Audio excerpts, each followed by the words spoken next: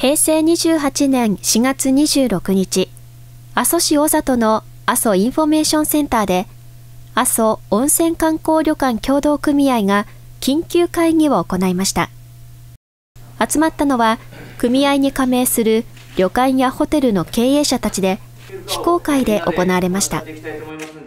会議後、稲吉理事長は取材陣に対し、